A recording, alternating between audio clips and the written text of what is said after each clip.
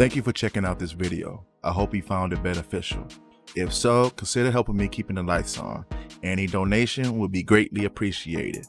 If not, a like and subscribe would make my day. Hey, what's up? How y'all doing? Uh, before I put my camera up, I got through shooting a previous video. I'm about to um, live stream in a few minutes as soon as I finish this. I just wanted to um, show you something uh, I 3D printed um, a couple of weeks ago. I would say it's on a professional level for the um, creator, which is Edward Park from uh, Mountain Breeze, South Korea. Um, I'll put a link to it to the um, creations um, down in the description. It was these two matte boxes. I printed them out. They pretty much, like I said, on a professional level. I'm very thankful. If you like these, um, go ahead, head over there and um, download them and shoot him a little um, change on PayPal because these are phenomenal. Let me start with the one I like best, which is this one. I printed it um, with different uh, material. I tell you now, not all material is equal. This came out a lot better than the other one. This one's a little bit of a matte finish. This one's a little bit more shiny, as you can see. But I'll talk about this one in a minute. This one here is for single um, filter. Uh, did a little modification. I added this to the bottom so I could add it to my rig in front of my lens. Then I also um, printed an um, adapter for a couple different lenses that I have because I'm using a um, micro four thirds camera. You know, some of the lenses is very small. Then I use other um, lenses with an adapter which are larger. This one here takes one filter. It has a flag in the front. And this is how it looks. Came out very good. Let me uh, find the filter. I know it's over here somewhere. Oh, here it is. It's, it's single uh, filter use. Uh, you can use two sizes, the uh, four by four, and I think this is the um, four by five point something. I'm not sure, but uh, you just uh, slide it in from the top.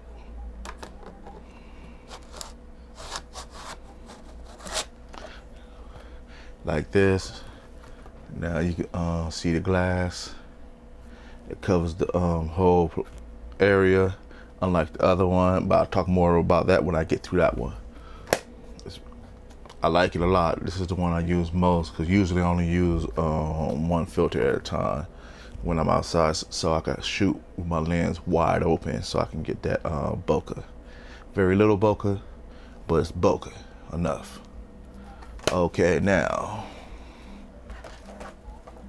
let's talk about this one. This one, uh, I really don't like the finish on it because um, it's really, really shiny and it takes away from the professional look that I'm looking for. A lot of people don't even know what this is, but they see you have a lot of shit on your wig.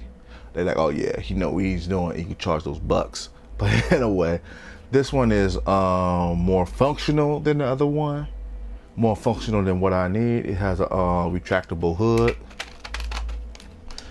Nice, um, see, it's retractable.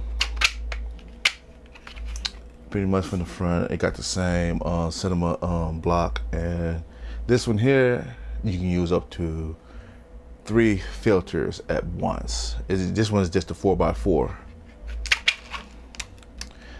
Um, also I uh, 3D printed a uh, adapter for different lenses that I'm using. Um, this one here, I, I, had to print something special to go the bolt to here so I could um, bolt it to my rig. I haven't used this one yet. Uh, what else I want to say about this? Oh yes, let me show you uh, how you uh, load the filters. Uh, I didn't put the spring in because I don't have a spring. I don't really don't care about it popping up long as it's open and I can put the filters in. Uh, right here, got a little hook. I got, hold on, let me get something. I got soft nails. But here, um, this pops up. You slide the you slide the filters in up to three filters, and you close it, and that's hold the filters in. You can use up three filters. But um, one thing I have noticed, let me um, demonstrate with with one of these filters. Give me a second. Uh, here we go. I ain't got no um 4x4 filters, but this will prove my point.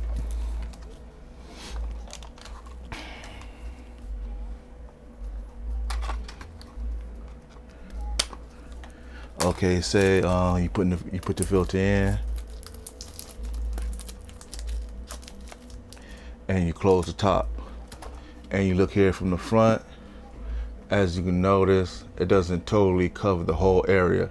Light could get in on on the sides. It shouldn't affect the lens, but I don't think it would have been better if it was wide enough to cover the whole area, look more professional. You know, but it's not really a big deal long as it serves its purpose. Uh, I printed this one, as you see, I printed this one in two colors just because otherwise it's printed all black. So uh, if you have any questions or you want to know more or you want me to talk more about my 3D printer, leave it down in the comments. I'd be glad to. Thank you for watching. I hope you found this video useful. If so, subscribe, like, and share this video with anyone who could benefit. But if you feel that this video is not quite up to par, dislike this video, leave a comment letting me know what I did wrong. I really would like to hear from you. Also, you can follow me on the social medias. The links are in the description.